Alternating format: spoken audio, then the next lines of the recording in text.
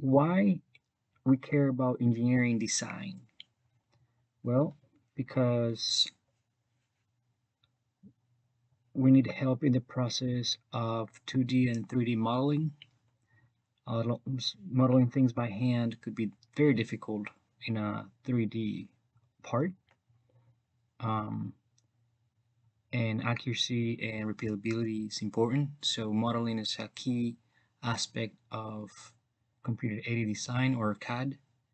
Another thing too that we care about engineering design is to help in the process of checking assembly and functionality of the assembly, to help in the drawing or the drawings for manufacturing parts so that we can 3D print, we can have injection molding and other manufacturing methods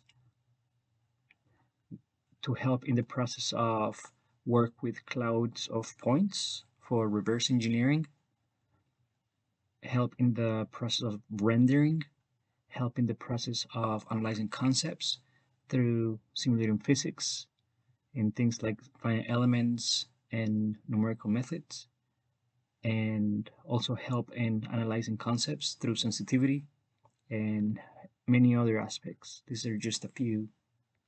So in 2D modeling, for instance, when we say about when we talk about 2D modeling, we're talking about XY plane or drawings on a YZ plane where you only see one plane of the part. And sometimes one plane is enough to convey all the details because it's symmetric or axis symmetric, meaning that revolves uh, around an axis. So for instance, this pressure regulator, we can show everything on just one plane. So a, two, a 2D modeling is uh, a 2D module is enough for this part to convey all the details to the engineers or the technical people that want to use it. Another aspect of 2D modeling that is important is to help us transition to 3D modeling. So we can create everything on a plane and then extrude or revolve and move to a 3D part. When we talk about 3D modeling, we can actually talk about details in X, Y, and Z coordinates. So we can have depth and height, and we can have details in every single dimension. And that is really the key point of manufacturing where we can mostly when we say or talk about additive manufacturing we're talking about 3d printing for instance we want to be able to print something that is usable in space and not just a line drawing in two dimensions. And the parts could be as complicated as an airplane or as simple as a casing. Also, we need help in manufacturing for injection molding. Injection molding, as you might learn later, or as you probably know by now, the mold requires certain angles so that you can pull the part out when it's finished and you need certain fixtures to hold the part together.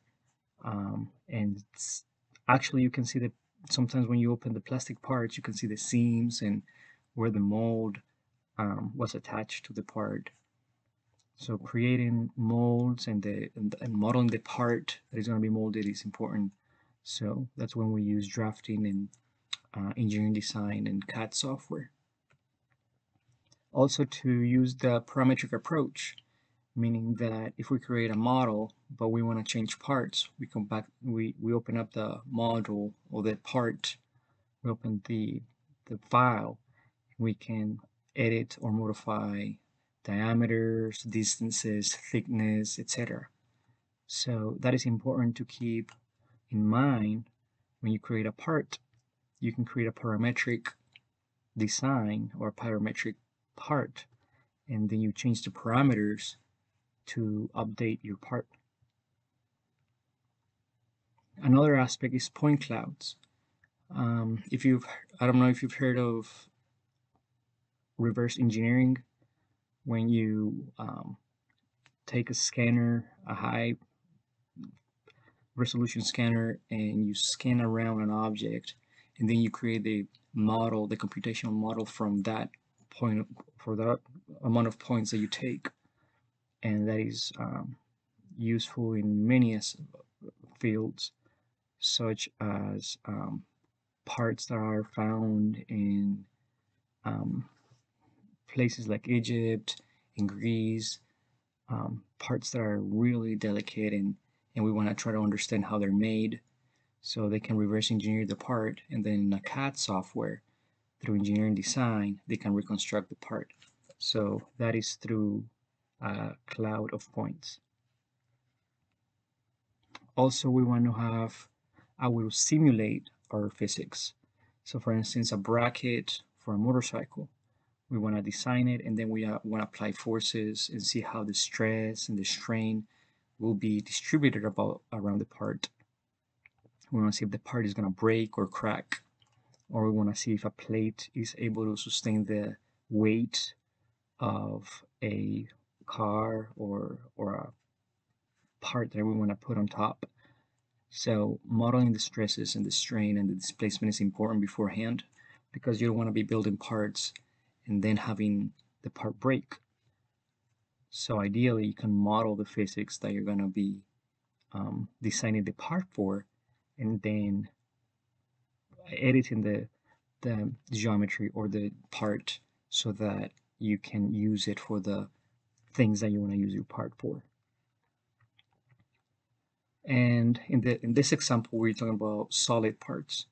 But if you want to model fluids, you can also do that when you model a turbine, like a 3D turbine, or model a car, and then you see how the flow um, is flowing through the part or around the part, and checking things like drag and lift and like velocities and convection and things that might affect the performance of your design. We can also use CAD or rendering or, or engineering software for rendering where you want to show the part that you created um, under different texture and different lights. So rendering is also an important aspect of engineering design. And all those things combined are important for analyzing concepts through sensitivity analysis. So when you create a part, for instance, and you put it to a test and you start using it, say like a piston, and say the diameter and the length and the weight or those parameters are important for the part so that in an engine you can um, perform at the RPMs that you want and produce the torque and, and speed and, and acceleration that you want. But if you're trying to optimize the part, then you want to be able to modify some, some parameters. Well, those parameters are probably feeding back either from experimental data or from analysis, you want to go back to change your model. And that's where you go back to your engineering design. So all those things combined help you design a better part and at the end get better engineering.